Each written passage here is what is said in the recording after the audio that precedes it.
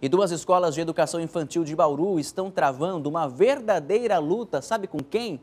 Com os pombos. As aves tomaram conta do telhado e também do pátio.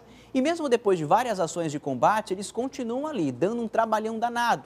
O pior é que além da sujeira que eles fazem, esses pombos eles oferecem um grande risco à nossa saúde. E essa é a preocupação de pais de alunos. A preocupação também das autoridades do poder público. Vamos conferir na reportagem. Pode rodar.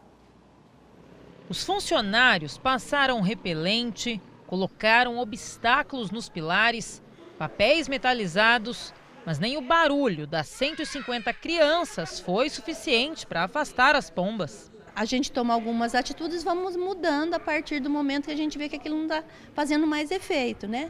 Mas é complicado, porque eles são insistentes, né? A região aqui, como né, falei para você, é uma região que tem chácaras por perto, então assim, tem oferta de alimento, né? Aqui pra gente nem tanto porque o refeitório acaba das crianças comer, é varrido, colocado no lixo, né? Com a tampa, tudo. Então assim, não tem excesso de alimento para eles aqui, mas a região tem. Durante a noite, os pombos se abrigam no pátio da escola Luzia Terezinha, na Vila Industrial.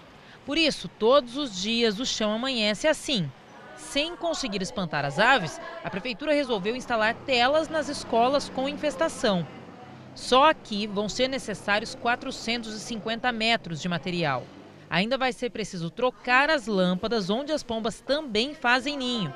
O gasto deve passar dos 5 mil reais. Outra unidade que também vai receber a instalação de telas é a Escola de Ensino Infantil Márcia Andalon, que fica no Parque Roosevelt, onde a situação também é crítica.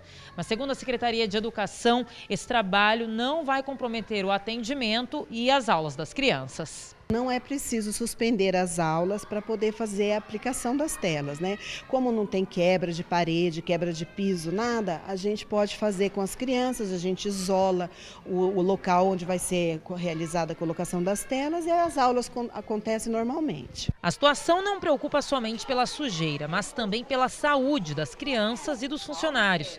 Afinal, os pombos transmitem doenças. Algumas podem evoluir para quadros mais graves e até matar. A gente pode encontrar salmonela, que a gente fala muito a questão dos ovos de galinha, então as aves elas têm realmente salmonela nas fezes. Isso é comum encontrar. Campylobacter, que é uma outra bactéria que pode causar diarreia, né? e às vezes tem, e, e temos outras bactérias que podem causar pneumonia. Né? É muito menos comum, né? mas se você inalar mesmo. No caso da salmonela, o campylobacter, é mais o contato, né? colocar a mão e levar a mão até a boca.